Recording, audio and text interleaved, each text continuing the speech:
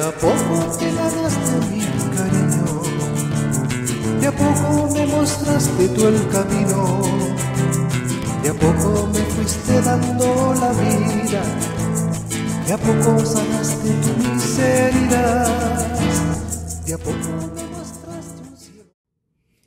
Contentos también porque ya hemos comenzado otro libro del Nuevo Testamento. ¿Ya? Exacto, primera carta a los tesalonicenses.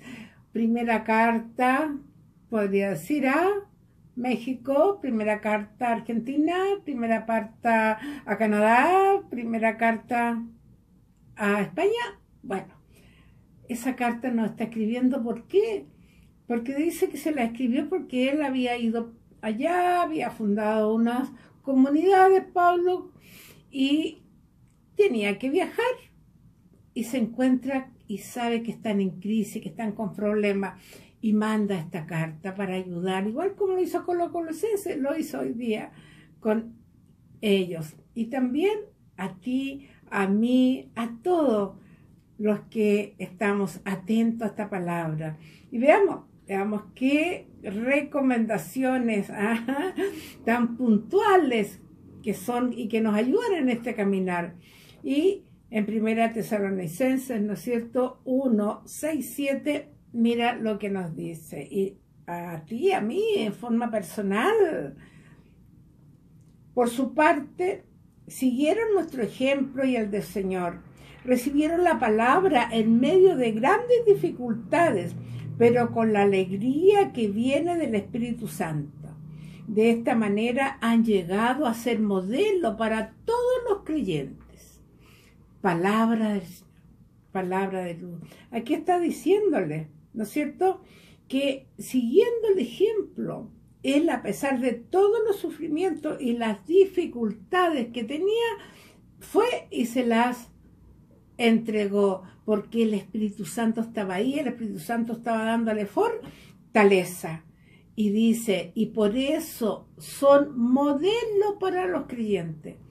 Así es, hermanitos queridos, viene a confirmar lo que hemos dicho, ese modelo para los creyentes, para las personas que están a nuestro lado, para esas personas que están con duda, que están desilusionados, que quieren irse, ya dejar todo abandonado, pero te miran, ven tu paciencia, ven tu bondad, a pesar de todas las dificultades, ven que siempre estás uniendo, que siempre estás levantando que siempre estás llevando una palabra de consuelo y de paz en vez de destruir, vale la pena.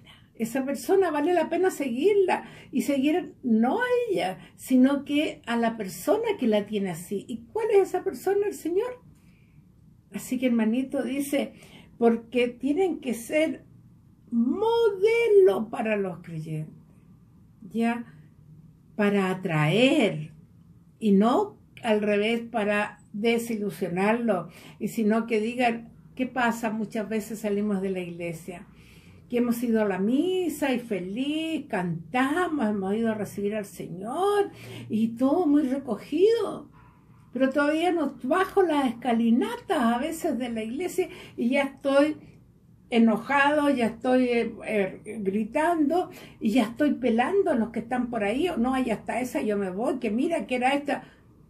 Y una persona que a lo mejor va por primera vez y que sabe toda tu historia y sabe cómo es, y dice, bueno, ¿y, a qué Señor voy a seguir? ¿A ¿Para ser como Él? No, para ser como ella, no, mejor me voy a otro lado.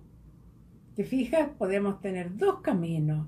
Ser, como nos pide acá, modelo para los creyentes, pero un buen modelo, pues, un modelo que atraiga, que lleve al camino del Señor y no un modelo que haga que se retiren, que se vayan del camino del Señor. Así que digamos, Señor, ayúdanos a ser consecuentes, danos esa luz que necesitamos para ser ese modelo de luz, de paz que hoy día tanto, tanto necesita.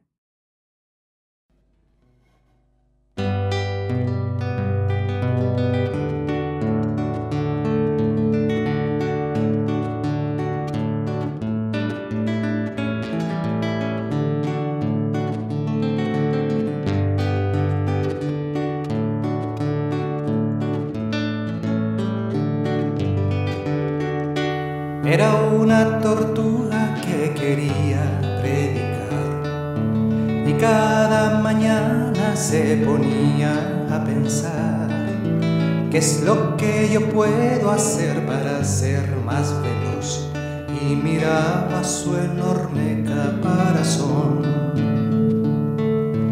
Esto no me sirve para yo ser más veloz. Y mirando al cielo Jesús se dirigió. Mira todo el peso que yo cargo sobre mí. Y del cielo una voz le contestó. Dame, dame tu caparazón. Dame, dame tu caparazón.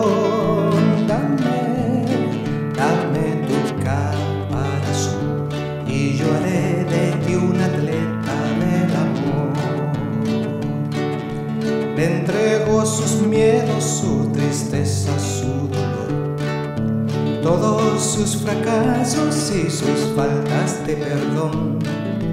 Llévate Jesús todo lo que me pesa a mí, porque siendo libre al fin seré feliz. Y aquella tortuga de un gran peso se